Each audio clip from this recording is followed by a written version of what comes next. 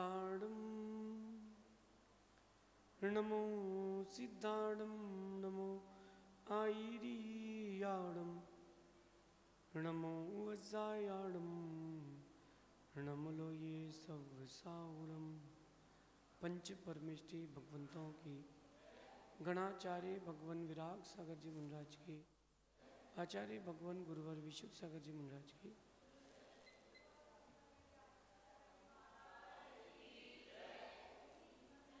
या हम सभी अपने जीवन में सुख और गुणों की अभिवृद्धि के लिए नीति के विषयों का श्रवण कि कुछ वक्त हमें खुद को संभालने के लिए रखना चाहिए।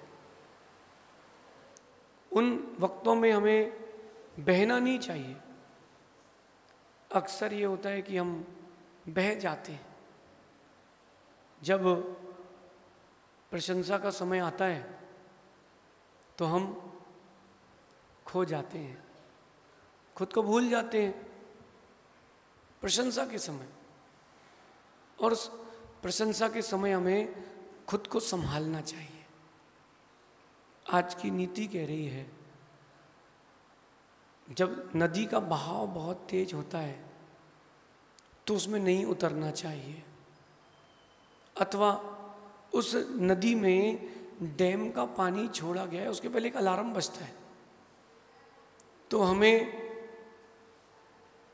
जब पानी छूटे, तब नदी में नहीं उतरना चाहिए। अथवा समुद्र की लहरें सामान्य की जगह उफान में हो, तब हमें नहीं बहना चाहिए। ये अपना विवेक जब आपकी कोई प्रशंसा कर रहा हो, तब हमें नहीं बहना चाहिए। आज की नीति कह रही है कि जब लोग आपकी प्रशंसा करें तो उस समय क्या करें, संभाले कैसे खुद को? देखो, एक बात ध्यान रखना। तेज गति से गाड़ी चलाने का कहीं मना नहीं है। ना गवर्नमेंट का रूल ऐसा कुछ है, ना ही जो बेच रही है कंपनी उसका। कार में 200 250 तक की, कितने की, कितनी स्पीड होती है मैक्सिमम?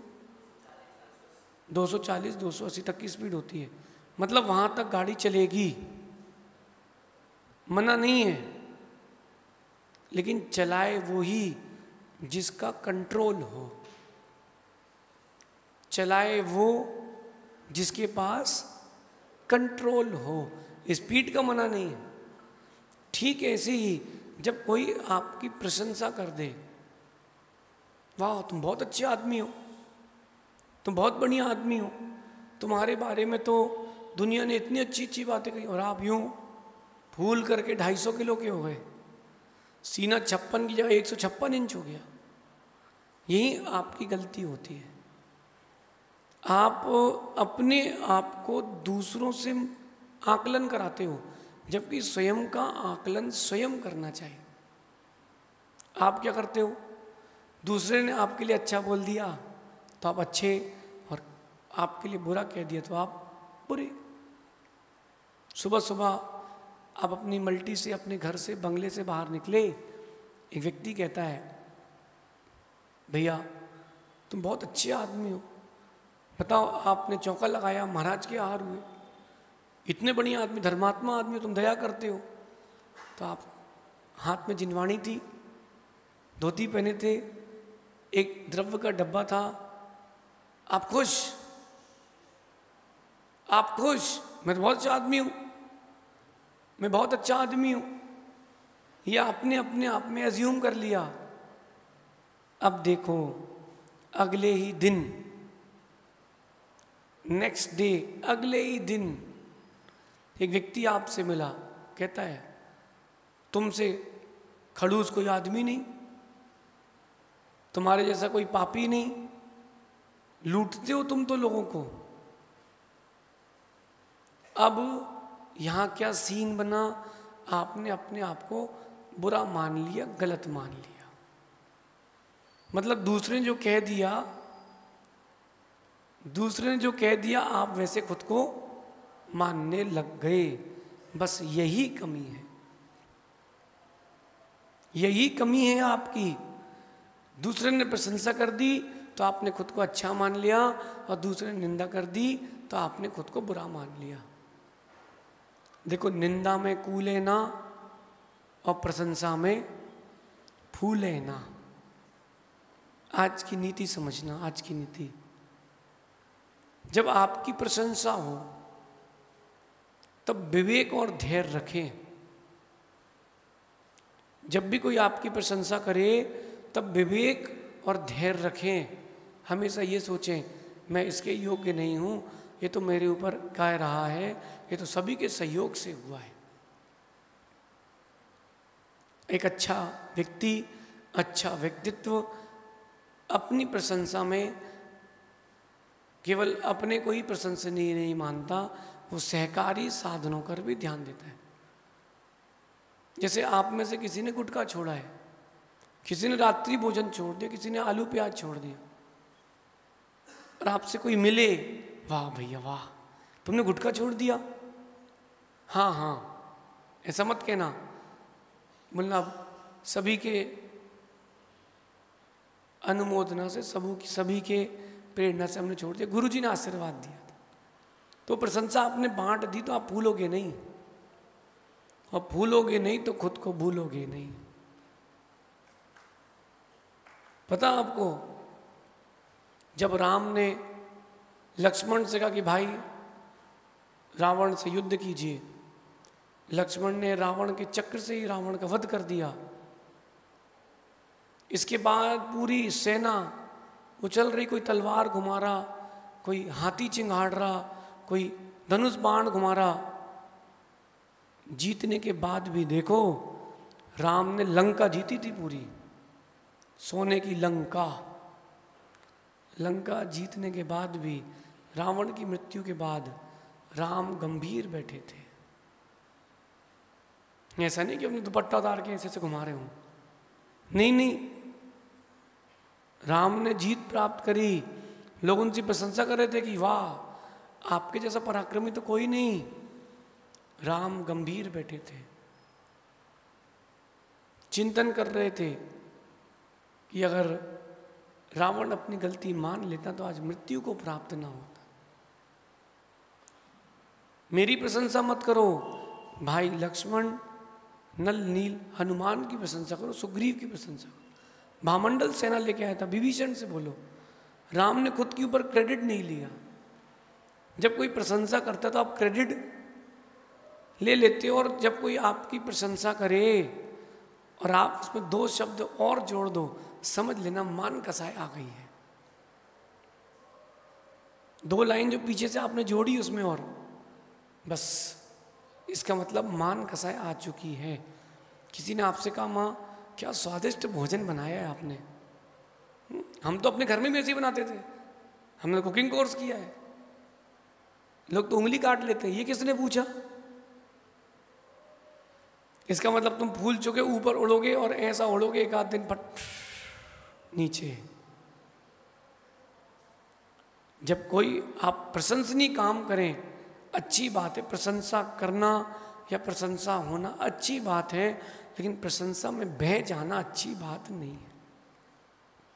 आज हमसे, प्रतिदिन कोई ना कोई आके बाहर का कहता ही है, जैन हो या अजैन हो महाराज जी, आपके प्रवचन हम सुनते हैं। मैंने कहा, अच्छी बात, आशीर्वाद। गुन्ना भी। बात। कौन सा पेज फॉलो करते हो?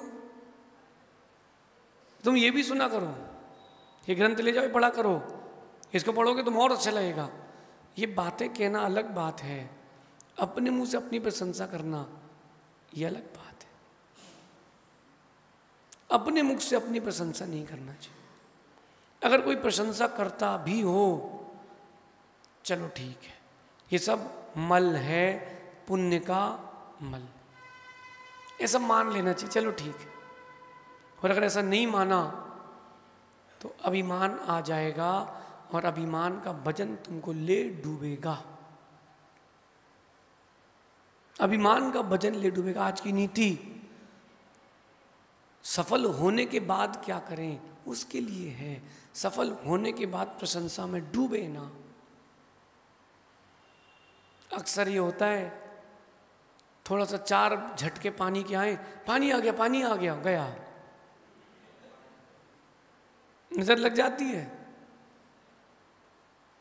कोई किसी ने प्रशंसा करी? हाँ हाँ हाँ हाँ बस पिटे। अगर कोई आपका शत्रु आपकी प्रशंसा कर रहा हो, तब क्या करें? जो आपके पीछे लगा रहता हो, आपकी बुराई करता रहता हो, निंदा करता रहता हो, पता है आपको कि वो परेशान करता है और उसको परेशान करने में ही मज़ा आता है है ना? ऐसे लोग होते हैं ना, जब वो आपकी प्रशंसा करें तो अपने आप को दुखी प्रेजेंट करें। सुने कैसे? पता है कि अपना ये मित्र नहीं है, ये पीछे से अभी अपन को चुरा भोंकने वाला है। तो उसके सामने खुद की बुराई करें। सुनो कैसा? अरे, अब क्या बताएँ? बहुत परेशानी चल रही है। कुछ व्यापार चल ही नहीं रहा। अभी माल लिया था, बिका ही नहीं। दस लाख का नुकसान लग गया। और अब पैसे हैं तो घर में झगड़ा चल ही रहा है। अभी क्या करो यार? खुश हो जाएगा वो। उसको एनर्जी मिल जाएगी। क्या? कि अब रहन तो परेशान तो है ही। परेशान नहीं करो और तुम सुखी रहना। मज्जा नहीं लाइफ। समझ गए? शत्रु प्रशंसा करे तो और मित्र प्रशंसा करे तो हाथ जोड़ के एक बात बोलना, सब आप लोगों की दुआएँ और गुरुदेव का आशीर्वाद। ऐसा करोगे तो मान कसाय नहीं आएगी और मान कसाय नहीं आएगी तो आप टिके रहोगे बाज़ार में। देखना ज़्यादातर खिलाड़ी जो सौ रन बनाने के बाद फूल जाते हैं। कई ऐसे होते हैं कि पचास रन पे भी हेलमेट उतार लेते हैं। वो भूल चुका है, वो बस पचपन पे आउट है। सौ रन बनाए, पूरी पब्लिक खड़ी कोच खड़ी हो गई। उसके अभिवादन में उसने बैट निकाला, हेलमेट उतारा। भूल गया गया। जो अच्छा खिलाड़ी होता है, वो एंजॉय तो करता है, लेकिन भूलता नहीं वही 200 बना पाता है, वही 250 बना पाता है। समझ गए? ऊँचा खिलाड़ी बनना है, अपनी प्रशंसा को पचाना सीखे, हाजमोला खाना सीखे। जब कोई आपकी प्रशंसा करे तो धैर्य और विवेक की हाजमोला की गोली खा लें, वरना अभिमान की गैस बनेगी। बस धीरे से हम्म, सिर नीचे कर लें। क्योंकि प्रशंसा जो है इतनी गरिष्ठ वस्तु है इतनी गरिष्ठ वस्तु है कि वो कुछ भी कर सकती है। और थोड़ी बहुत सक्सेस मिली किसी ने प्रशंसा कर दी तो रोक दो उसको। बोलना भैया अभी जब तक पूरा ना जीत जाऊँ प्रशंसा मत करना। कोई कह रहा आज अलर्ट है पानी गिरेगा जब तक दो घंटे ना गिर जाए तब तक नहीं मानना।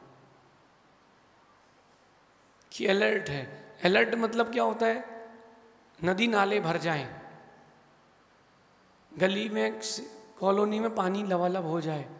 वो अलर्ट होता है। ये अलर्ट थोड़ा ना होता है कि थाली ना भर पाए। जब कोई आपकी प्रशंसा करे, आपकी अधूरी जीत पर उसको रोक देना, भैया, अभी अधूरी जीत पर प्रशंसा मत करो, वरना काम बिगड़ जाएगा। मैं भूल जाऊँगा और फिर खुद को भूल जाऊँगा। तो क्या करें? जब कोई प्रशंसा करे, विवेक और धैर्य की गोली खाएँ। अभी आप लोग देखना धीरे धीरे लोग जो गुरुओं से जुड़ेंगे, लोग उनकी प्रशंसा करेंगे। उनको अपने आप में लगेगा कि मैंने कुछ लाइफ का अचीवमेंट किया। मैं आपसे कह रहा हूँ कि गुरुओं के सानिध्य में बिताया गया समय एक तरफ़ और पूरी ज़िंदगी का वक्त एक तरफ़। पड़ना भारी रहेगा। लेकिन कोई प्रशंसा करे उसकी, पचाना पचाना, उससे कहना, भैया, जब तक मैं प्रशंसनीय नहीं मानूँगा खुद को, तब तक मेरी प्रशंसा नहीं। थोड़ा सा मुझे वक्त दें, मैं अभी और अच्छा होना चाहता हूँ। अपने आप को अधूरा ही मानना, वरना आगे नहीं बढ़ पाओगे। एक शिष्य गुरु के पास गुरुकुल में रहकर के चित्रकारी सीखता था। ठीक उसके साथ उसका बेटा भी सीखता था। जो गुरुकुल में गुरु जी थे, वो अपने बेटे की प्रशंसा नहीं करते थे। वो जो शिष्य पढ़ने आया था पेंटिंग बनाता उसकी प्रशंसा करते हाँ बेटा और अच्छा बनाओ। हर वक्त अपने बेटे को कहते कि सुधार करो, अभी कुछ कमी है। और वो जो शिष्य था, उसकी पेंटिंग इतनी अच्छी नहीं होती थी, फिर भी बहुत बढ़िया। एक्सीलेंट तुमने क्या पेंटिंग बनाई है? अपनी माँ से कहता है, माँ, पिताजी मुझे नहीं चाहते। पिताजी तो वो शिष्य को ही चाहते, मुझे, मेरी कोई प्रशंसा ही नहीं करते। प्रशंसा सुनने के भाव से एक दिन उनके बेटे ने चित्र बनाया और अपने दोस्त के हाथ से भिजवाया। बोले, बताओ, कैसा लग रहा है? बोले, क्या आप चित्र बनाया है? इतने इतने सुंदर इससे सुंदर चित्र तो कोई देखा ही नहीं। ऐसा चित्र तो सिर्फ़ मेरा बेटा बना सकता है। बेटा सामने खड़ा हो गया। पिताजी, मेरे सामने मेरी प्रशंसा नहीं करते हो ना? पिताजी धीरे से कहते हैं गुरु जी धीरे से कहते हैं, बेटा आज के बाद तू इससे अच्छी नहीं बना पाएगा। क्योंकि तूने प्रशंसा की चाह कर ली अपनी प्रशंसा सुनकर भूले ना। और प्रशंसा सुनने की चाह भी ना रखें। अगर आपने प्रशंसा सुनने की चाह रखी है कि मैं फलाने गुरु का शिष्य, मैंने अपने गुरु के लिए किया, तुम छोटे हो, तुम्हारे बारे में कोई और कहे कि तुमने अपने गुरु के लिए ऐसा किया है, वो प्रशंसनीय है। आपको अपना नाम कहने की ज़रूरत ना पड़े, लोग आपका नाम कहें, वो प्रशंसनीय। पता आपको अभी आप सबके बीच में कल एक ऐसी भी बालिका थी, वो डेप्यूटी कलेक्टर बन के आई थी। हमने उसका एक बार भी श्रीफल नहीं चढ़वाया। चढ़वाया? डेप्यूटी कलेक्टर बनना पच्चीस साल की उम्र में छोटी बात है। मैंने नहीं चढ़वाया, मैंने कहा, रुको। मैंने उससे कहा कि, तुम्हारा मैंने श्रीफल क्यों नहीं चढ़वाया? पता है? बोले, नहीं गुरु जी मैंने कहा, इसीलिए नहीं चढ़वाया है कि तुम रुको अभी। जब अगली बार तुम लाल बत्ती में आओ, चार पुलिस वाले साथ में हो, और जब तुम्हारे पास मंदिर कमेटी के अध्यक्ष मंत्री घूमे आइए आइए, कलेक्टर साहब, आइए, कलेक्टर साहब। तब उनसे कहना कि आपके मंदिर हम पहले भी आ चुके हैं। तुम्हारा परिचय, तुम्हारा व्यक्तित्व दे, तुम ना दो। क्योंकि जो प्रशंसा में भूल जाते हैं, वो अपनी सफलता का रास्ता भूल जाते हैं। सफलता के रास्ते को भूले ना, अपनी प्रशंसा में फूले ना। विवेक और धैर्य की हाज मूला की गोली खाते रहें, ताकि प्रशंसा के जो गैस है गैस वो तुम्हारे अंदर अभिमान का रोग ना बढ़ा दे। आज की नीति भूलना नहीं। प्रशंसा करना या प्रशंसा सुनना बहुत अच्छी बात है, लेकिन प्रशंसा में बह जाना अच्छी बात नहीं है। अभिमान को कंट्रोल में रखें। अपनी प्रशंसा करने वाले को भी कंट्रोल में रखें। जो बह जाते हैं, फिर वो कुछ कह नहीं पाते फिर उनको नीचे ही गिरना पड़ता है। जब कोई आपकी प्रशंसा करे तो अंदर अंदर अपनी पीठ ठोकना कि तू बहुत अच्छा आदमी है, लेकिन बाहर कहना कि बस सब भगवान का, गुरुओं का आशीर्वाद और आप लोगों की दुआएँ हैं, मैं तो इसके योग्य नहीं हूँ। इतना, लेकिन ध्यान रखना, कोई बोले तुम पैसे वाले हो, करोड़पति हो तो मना नहीं करना। मना सब गुरुओं का आशीर्वाद है, आपकी दुआएँ हैं। मना कर दिया तुमने और सरस्वती गले में बैठ गई तो सब चला जाएगा। मना नहीं करना, लेकिन अपनी प्रशंसा में तार भी मत जोड़ना, ऐसा समझना शेष आगे देखेंगे। भगवान महावीर स्वामी की